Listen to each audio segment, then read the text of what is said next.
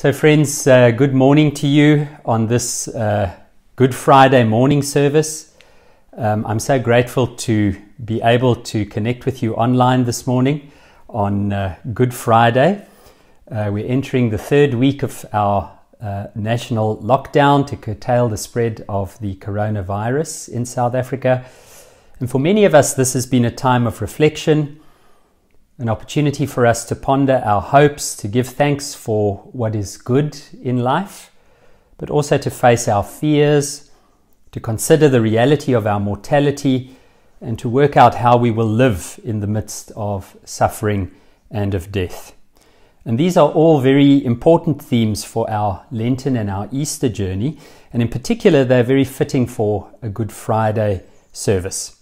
As you may remember, we would have had uh, two services today a regular worship service in our sanctuary, followed by a service of remembrance for all of those who have lost loved ones in the previous year and indeed in the years before that. And so we'll include that, uh, both of those aspects, in our service today. And just to say, this is intended to be a quieter, more meditative, reflective service uh, than normal. So I invite you, please, when we go into silence, don't be uncomfortable uh, in that. Uh, even if uh, we grow quiet, um, you should be able to, to just enjoy the time in God's presence. Now, because the service is intended to be a more quiet and reflective service, we're going to start with the notices, and uh, then once we've done that, we'll light the candle and move into the rest of the service. So, the first uh, thing I'd like to remind you of is that we will have our live stream of the Easter Sunday uh, service. It'll be here on Coronation Avenue Methodist Church's Facebook page at 9 a.m. Uh, Courtney and I are preparing uh, something special. We're, we're hoping to uh, sing uh, a, a, song of, of celebration uh, with you, for you. So do come for that service. And who knows, I believe that the Easter Bunny is a critical uh, worker, and so we may even find that there are a few Easter eggs around. I've been uh, off chocolate for Lent, so what a day that's going to be. So come along at 9 on Sunday morning. Then um, I heard from Ralph that our presiding bishop, Reverend Purity Malinga, will be doing a broadcast service today at 12:30 on channel 334 and our general secretary uh, the Reverend uh, Hansrod will lead the Easter Sunday service on Sunday at 12:30 uh, also on channel 334. So uh, if you have access to those channels, do tune in with the rest of uh, our Methodist sisters and brothers. Thirdly, um, just to remind you that all collections that are taken across southern Africa on Good Friday always go towards the Ministerial Students Fund. In other words, the income goes towards the training of ministers for our church, and that's an investment in the kingdom and uh, in, in our work for the future. So we would encourage you to give uh, generously. Um, you'll see that on our Facebook page there is a, a SnapScan uh, image, um, and uh, I will make this whole transcript of today's service available as a link um, afterwards. And um, you can either use SnapScan to make your gift today or use the electronic uh, uh, transfer into the bank account. Two last notices. We rece- received an urgent plea from our brother Andy Lawton, uh, who we know and love very much, who's working with the Helderberg Street people, Thomas House of Hope, and the Night Shelter. They're trying to care for about 100 to 120 people housed at a school near the shelter. And uh, Andy is asking local churches to help us to prepare meals, uh, say once a week, depending on how many churches can help. There's enough food until today, but we need to continue at least until the lockdown ends. So um, we would like either for folks to provide dishes of pasta, mince, soya, or soup, uh, anything that's nutritious, and the church will provide bread from our disaster fund. Depending on the needs, we can uh, contribute ingredients. So if you would like to respond, uh, we've asked that you please uh, either cook something and be in touch uh, with the church office. The number for the church office is uh, in the in, in, will be uh, in in the link here. Or otherwise if you can make a contribution into the church's bank account and just use the reference disaster fund and uh, that will go towards supporting these persons. And then lastly just to say please also keep our minister the reverend ralph afghan in your prayers. Ralph was asked by our Bishop, Yvette Moses, to head up the Synod uh, Crisis Task Team for the COVID 19 response. He's been working very hard uh, behind the scenes to secure food and shelter and care for people um, who, who are most vulnerable during this time. So please keep Ralph in your prayers um, as, as he undertakes that, class, uh, that task. So, friends, those are our notices for today. I'm going to invite us to uh, be silent for just a moment, and then I'm going to invite our society steward for the day uh, and also our camera person, uh, who also happens to be my wife and my boss, Megan, to come and uh, light the candle. So, let's grow quiet just for a moment um, as we prepare ourselves in worship. Thank you, Migi.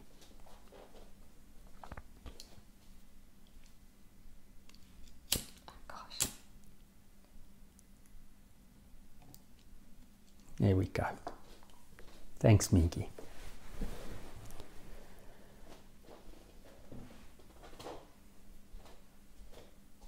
Let us pray. So, as we gather, let's light this candle, remembering that we are with Christ and that He is with us in suffering. It's a dark day to be gathered here, Jesus. It's a barren place and it's filled with shadows and death.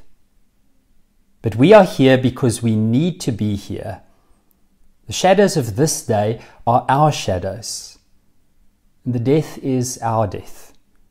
Now, as we worship, your cross becomes for us a mirror, reflecting back to us our own brokenness, sinfulness, and darkness.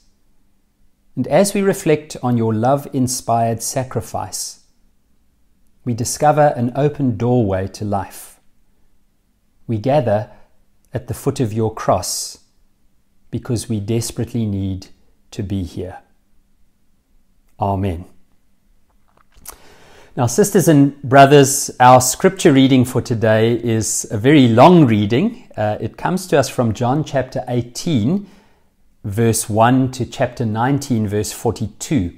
So I'm not going to read the whole scripture reading uh, for us this morning, but I do want to invite you, please take some time during the day today and go and read that reading. John chapter 18, verse 1 to 19, verse 42. And it's the account of Jesus' last moments before the crucifixion, the crucifixion itself, and then him being placed within the tomb. I'll give you just a brief summary of what we cover in that reading and then read a portion. The reading starts in John chapter 18, verse 1, with Jesus and his disciples moving towards Jerusalem. And as it grows dark, they are met by Judas, one of the disciples, who is there with some soldiers and the chief priests from the temple and the Pharisees who had come to arrest Jesus. Then we enter into that remarkable narrative that John tells of Simon Peter, who at first is full of courage, charging a guard with his sword. And then just a few verses later, we see that he is, Jesus is taken to Annas, the son of Caiaphas, the high priest, and Peter is fearful when he is asked by a servant whether he is one of the Lord's disciples. And in fact, he openly denies Jesus. John contrasts Peter's lack of courage with the courage of Jesus, who testifies about who he is and what ministry he's been sent to do. Without fear or shame, Jesus addresses Annas. Now, to draw the contrast, John once again returns to Peter, who denies Jesus a second and a third time, as was prophesied in the Hebrew Bible. Next, Jesus is led from Caiaphas to, uh, to Pilate, the Roman governor. And between verses 28 and 40, we read that Pilate wasn't all that certain of the charges that were brought against Jesus. He questioned their validity, and so he questions the high priests and the Pharisees, and even tries to get Jesus released by offering them and the crowds a choice between freeing this man, Jesus, or choosing to release a known murderer. But as we know in verse 40, the, crowds choose Barabbas instead of Jesus. Still trying to appease his conscience, Pilate has Jesus tortured physically by whipping him and placing him placing a crown of thorns and a mock robe around him, but also tortures him emotionally by allowing him to be mocked as the king of the people who are calling for his death. And after his torture, he asks them, Do you want me to crucify your king? To which the Jews, who hated the Romans, respond, We have no king except the emperor. And Jesus is handed over to be crucified in John chapter 19, verse 16. Now we're going to read just a portion of the rest of the narrative from John chapter 19, verse 16 to 30. And uh, I'm reading from the New International Version. So the soldiers took charge of Jesus Carrying his own cross, he went out to the place of the skull, which in Aramaic is called Golgotha. Here they crucified him, and with him two others, one on each side of him, and Jesus in the middle. Pilate had a notice prepared and fastened on the cross. It read, Jesus of Nazareth, King of the Jews. Many of the Jews read this sign, for the place where Jesus was crucified was near the city, and the sign was written in Aramaic, Latin, and Greek. The chief priests of the Jews protested to Pilate Do not write the King of the Jews, but that this man claimed to be the King of the Jews. Pilate answered, What a remarkable testimony! Listen to this. What I have written, I have written. When the soldiers crucified Jesus, they took his clothes, dividing them into four shares, one for each of them, with the undergarment remaining. This garment was seamless, woven into one piece from the top to the bottom. Let it not tear, they said to one another. Let's decide by lot who will get it. And this happened that the scripture might be fulfilled, which said, They divided my garments among them and cast lots for my clothing. So this was what the soldiers did.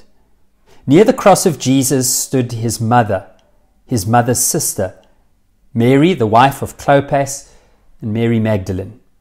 When Jesus saw his mother there, the disciple whom he loved nearby, he said to his mother, Dear woman, here is your son. And to the disciple, Here is your mother. From that time on, this disciple took her into his home. It, it, for me, is so remarkable that even in this time of great suffering, Jesus looks out for the good of those whom he loves. Verse 28.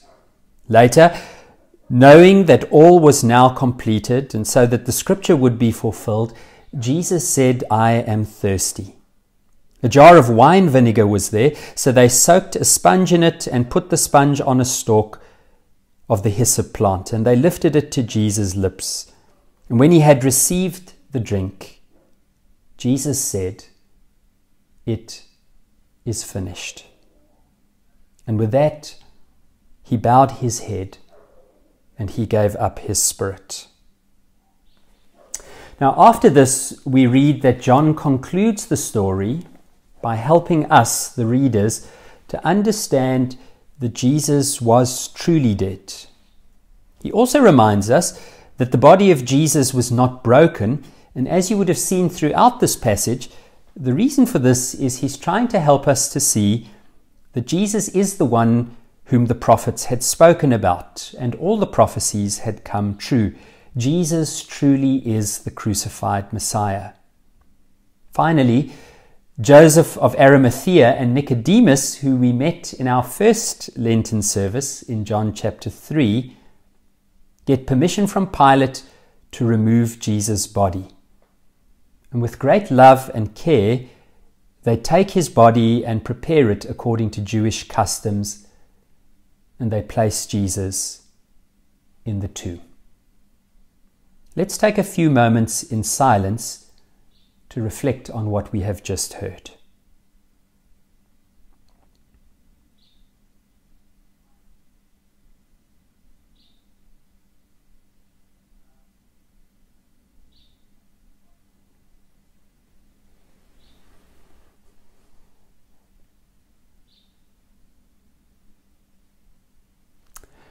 Now, let me ask you a question. Do you think that Jesus lived to die or did he die in order to bring life to all?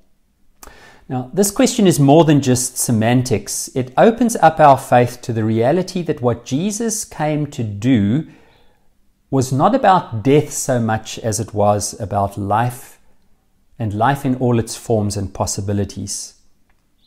Jesus died because he refused to accept a lesser life, a life of evil, of compromise, and of expediency. Jesus died because he embraced a life of love fully and completely. And he died because he wouldn't be moved from that life of love. And in so doing, Jesus showed us what it is to fully live. And he gave us an example to follow and a way for us to enter life. Now, next we can ask what our response is to Jesus' death. What Jesus did was not simply to give us a ticket to heaven. Rather, he opened the door for us to be forgiven. And in order to be forgiven, we have to face our own darkness and brokenness. That's what we need to do in order to live fully as he did. If we also die to everything that keeps us from real, abundant, and full life and embrace the life of love. Good Friday confronts us with what life is really meant to be and with the price that we must pay to find it, which in the end turns out to be much smaller than it may first appear. Now, some people believe that religion is irrelevant to the big issues of our world. However, what Jesus does goes to the very heart of the crises that we face as people and a species and even as a planet. Think about it, particularly at this time as we face the COVID 19 pandemic. One of our greatest fears is the fear of death. We worry about having enough to meet our daily needs, and for those, particularly the poorest and the most needy amongst us, to have their needs met. Sadly, as we've seen, some of us turn to looking out only for ourselves and not worrying about others. In a world of d- disease, Jesus breaks the conventions of religion and culture, as we read during our Lenten series, and he does this to bring wholeness and flourishing to people. In a world of corruption in the halls of power, Jesus exposes the expediency and manipulation. And for that, he dies with integrity. In a world of poverty, Jesus gives up everything in order to offer his life for others. He chooses not to become the kind of king that the world wants that is here today and gone tomorrow, but he chooses to be the kind of king who confronts the world with what matters most. He confronts them with the challenge to live in ways that encounter the brokenness of the world, and that means being where the broken are. And while some may view his love as weak, the Sunday service that we will celebrate in just two days reveals for us that it is indeed the strongest power in all of history and all of creation. The love of Jesus is the power to defeat all other powers. So, what does this say to us about being Easter people today? Well, a Christianity that is about nothing more than a guarantee of personal forgiveness and eternal life is exactly the antithesis of what Jesus came to do. It is selfish and escapist and unloving. And it removes us from any cost and deceives us into believing that all we have to do is agree with a set of ideas and then sit back and wait until we get to heaven. Good Friday helps us to realize that that view is just a delusion. Jesus confronts us with selfishness and self protectiveness at every turn. He challenges us with his willingness to give his life in order to love even his enemies. Remember that Jesus died for all, even the soldiers who cast lots for his clothes, even Caiaphas and Pilate, even Judas who betrayed him. And Jesus disrupts our comfort by mirroring back to us through the cross the extent of our depravity and our collusion in small ways in the systems of the world. And He invites us into a different way of living. He opens for us today the possibility of living a life which doesn't seek to escape suffering, but that offers the very best of what it means to be a Christ follower in the midst of uncertainty and brokenness, and even in the face of death. You see, friends, that is true hope.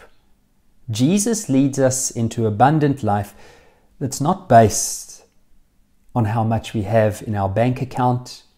It's not based on our titles or positions.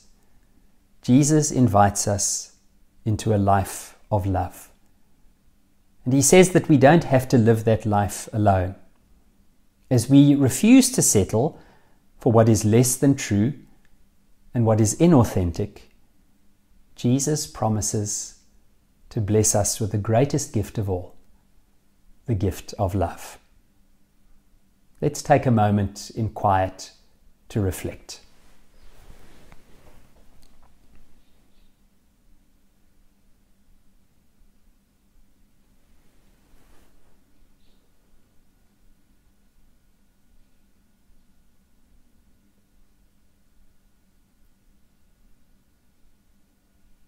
Let us pray. Lord, it seems impossible that anyone would give what you did to save women and men like us. Yet you gave yourself freely for our sakes. It seems unimaginable that anyone could love as much as you did, even loving the outcasts, the rebels, and even your persecutors and yet you refuse to strike back. But today we thank you that we have learnt that you loved us so much that you laid down your life for all of us. It seems inconceivable that anyone would offer forgiveness that you did, even as the nails pierced your, fre- your flesh and the cross was stained with your blood. But you did not hold our sin against us, and took it on yourself in suffering that should have been ours. Forgive us that we have allowed greed and violence and pride and deceit and bitterness and selfishness and coldness to find a place in our hearts. And Lord, fill us again with your immeasurable grace, with your inexhaustible love with your un- unconquerable life, that we may be changed and may express our love and devotion through lives of worship for you. Let us say together the Lord's Prayer. Our Father, who art in heaven, hallowed be thy name. Thy kingdom come, thy will be done on earth as it is in heaven.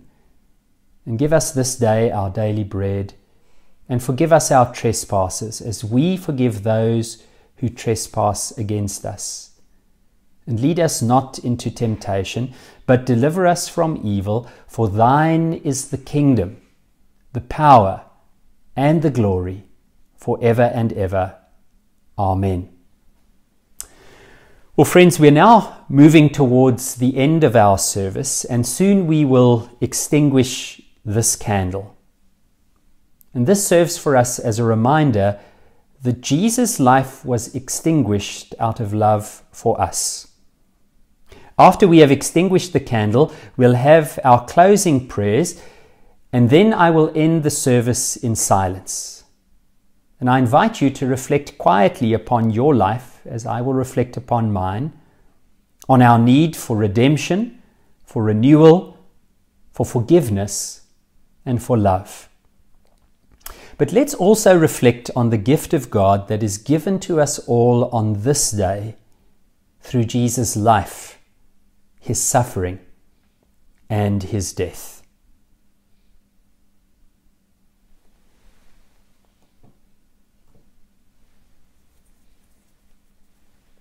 So come, let us pray.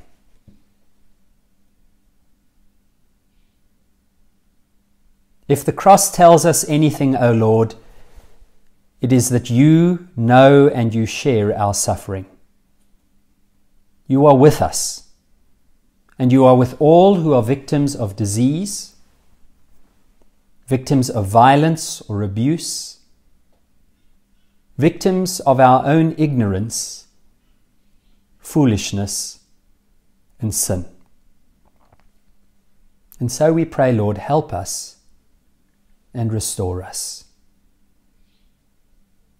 You are with us and all those who inflict pain on others and on the world through our selfishness or greed, through our brokenness or anger, through our rigidity or our need to be right. Help us and restore us, Lord, we pray. Lord, you are with us and all those who are fearful of the threats to this world that we call home. You are with all of us who worry for our health, our survival, and our safety, who fear the breaking of our community and our sense of togetherness as a people. Lord, we pray, help us and restore us. Lord, you are with all of us who grieve the loss of loved ones, of parents and children, of sisters and brothers, of friends and colleagues, and at this time, the hundreds of thousands whom we do not even know. We thank you, loving God, that in Christ death is not the end.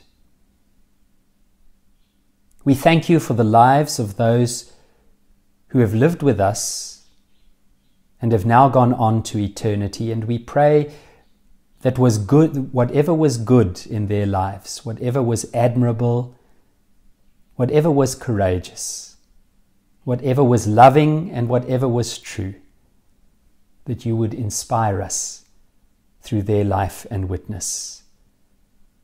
We pray particularly for those who have lost loved ones during this last year. And we pray, Lord God, that in their mourning you would offer them comfort and peace.